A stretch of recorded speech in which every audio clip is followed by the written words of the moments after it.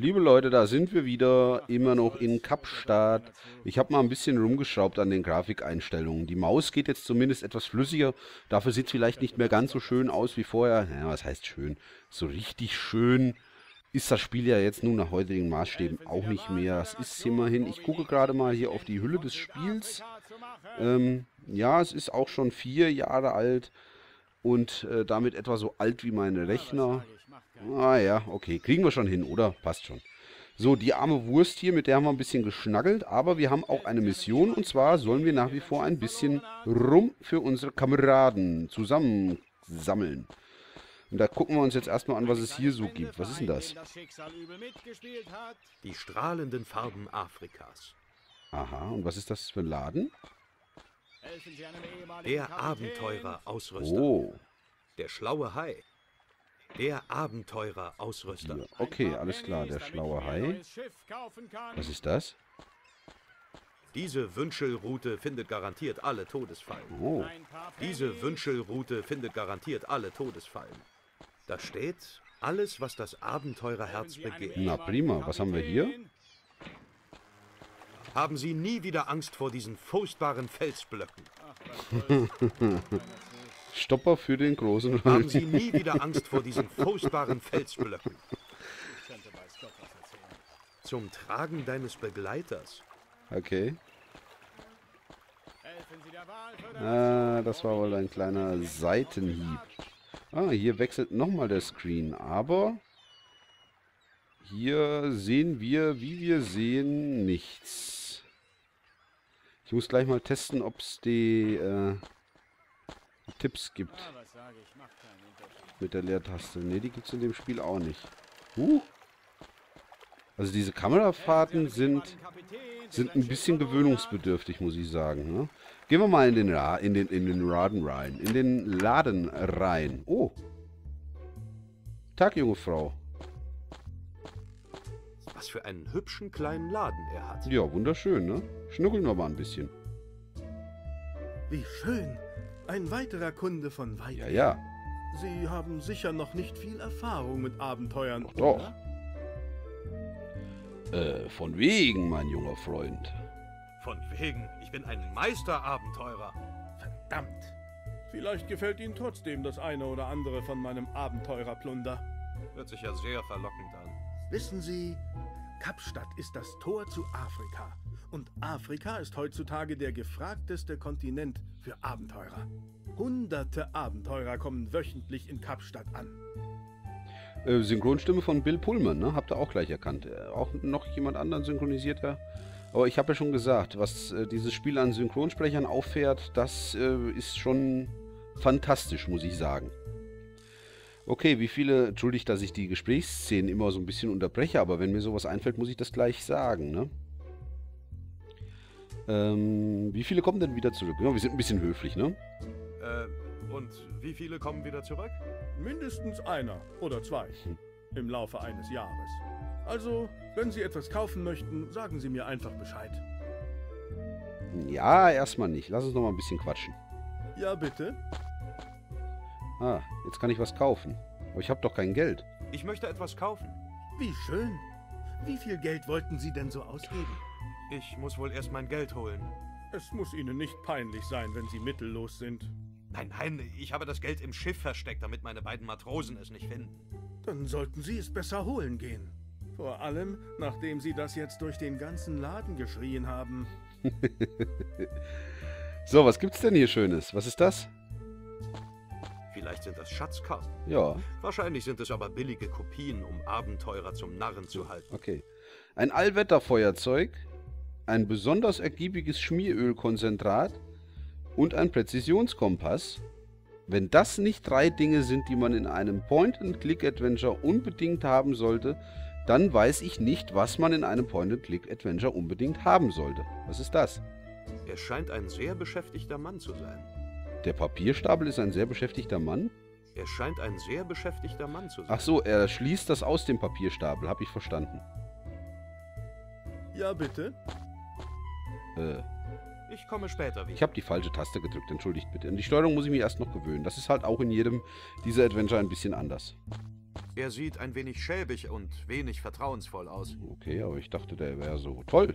Eine ziemlich kleine Dose für den Preis. Auf den ersten Blick wirkt es allerdings nicht besonders Du wettertauglich. musst mir auch alles madig reden, Kumpel, hä? Was ist das? Furchterregend. Ein Hai, der hängt da in der Decke oder was? Ach, nur Feiglinge haben sowas auf ihren Schiffen. Rettungsringe oder um den Bauch rum, so wie ich. Was ist das? Interessant. Äh. Oh, das ist aber schwer zu anzuklicken hier. Eine Outdoor-Schere. Wackelt ein bisschen, Trademark. wenn man sie auf und zu macht. Wackelt ein bisschen. Senden Sie Ihre sagenhaften und wilden Abenteuer an die Geliebten zu Hause. Hm, Nö, jetzt gerade nicht. Eine Müsli-Schale. Nicht sehr schön, aber wen kümmert's, wenn es mit leckerem Müsli gefüllt ist? Müsli. Was ist das? Ich liebe blaue Kisten. Blaue Kisten sind toll. Und lauft doch nicht immer hin Die und her. Alan Quatermain-Reihe, gerade veröffentlicht. Quartermain, geil. Wer war Quartermain nochmal? Richard Chamberlain, ne? Kitsch. Okay, die Stammesmaske ist also Kitsch. Was ist das? Ich habe schon einen auf meinem Schiff. Okay. Königliche holländische Post. Oh, hier geht's raus. Die Dinge in meinem Hof stehen Oh. nicht zum Verkauf.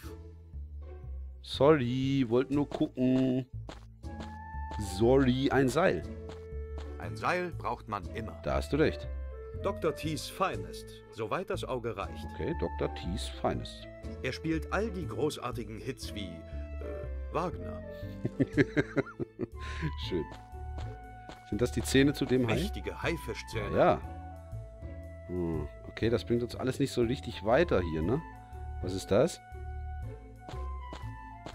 Diese Kamera. Ich sollte ihr nicht zu nahe kommen. Ja, Das ist ein bisschen altmodisch, finde ich. ja, ein Krempenhut, eine Peitsche, eine braune Lederjacke. Hm, wer zieht denn Jemand hat sowas die Kleidung weggenommen. Nein. Äh, was gibt's da drinne? Ein Vorhang. Sind Sie verrückt?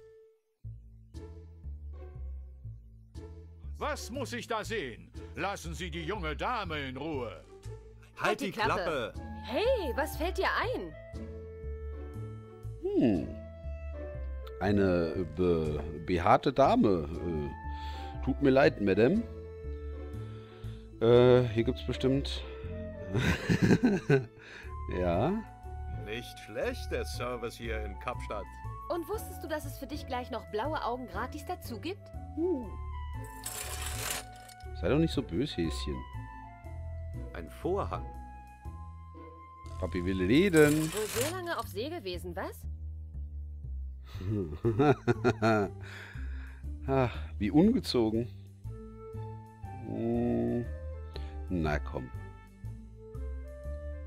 Ich wollte nur sehen, ob es nochmal funktioniert. Und ich wollte nur sehen, ob endlich ein ganzer Kerl zum Vorschein kommt. Missy hat was drauf. So, jetzt reicht es aber mal, oder? Schade. Ach, alle guten Dinge sind drei, deswegen musste das jetzt auch nochmal sein. Okay, was bist denn du für ein Vogel? Ein Abenteurer. Du siehst eher aus wie ein Horst.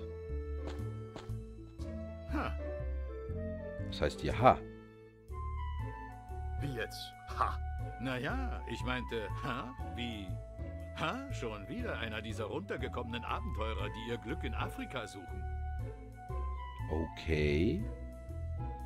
Äh, ta ta ta ta ta ta, oder, Abenteuer, haha. Beweisen Sie, dass Sie erfolgreich waren. Ha, nichts leichter als das. Ich war auf den Kanaren und habe dort sagenhafte Geschäfte gemacht. Die Story soll jetzt ein Beweis gewesen sein, oder was? Beweisen Sie, dass Sie auf den Kanaren waren. Ich habe hier eine Flasche norwegischen Rums. Wenn das nicht Beweis genug ist, darauf basiert mein großer Reichtum.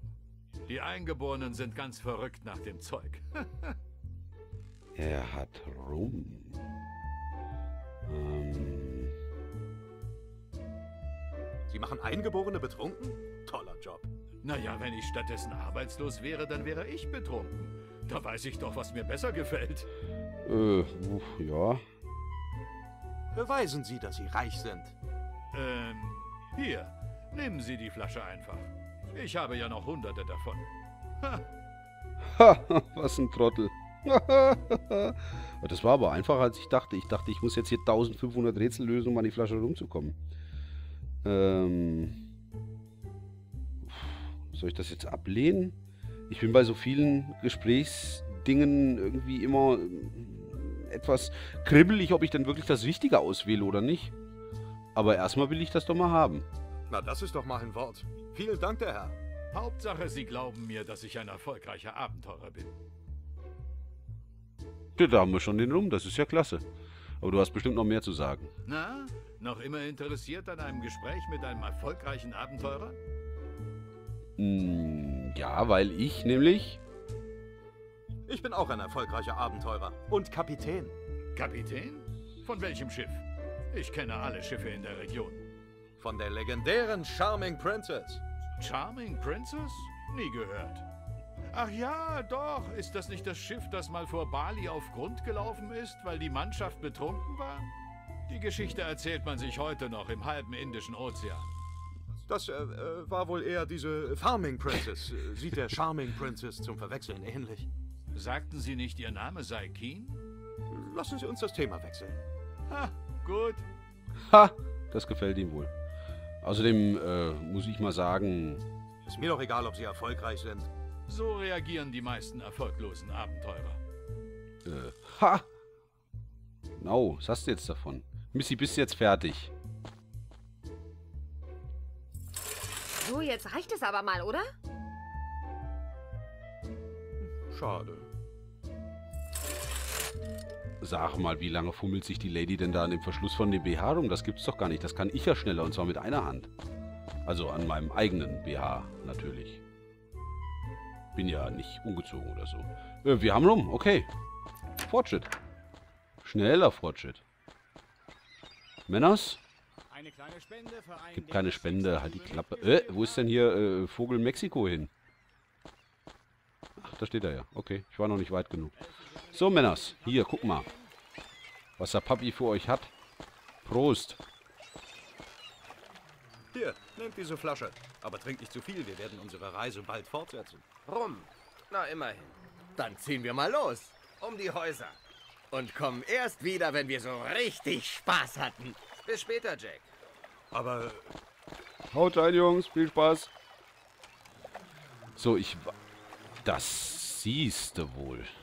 Das wusste ich noch. Ups, jetzt ist doch glatt die Planke abgebrochen. Das war's dann wohl mit meinem Geheimversteck. Naja, mehr als diese 30 Schilling sind sowieso nicht mehr drin. Okay, also das heißt, wir haben jetzt die abgebrochene Geheimverstecksmorsche Holzplanke und wir haben 30 Schilling. Sind wir in Österreich oder was? Was waren 30 Schilling nochmal? Das waren äh, 2 Euro und 12 Cent, glaube ich. Naja, da kommen wir auch nicht weit mit. Aber du quatschst jetzt mit uns, Kumpel, oder? Sag mal an.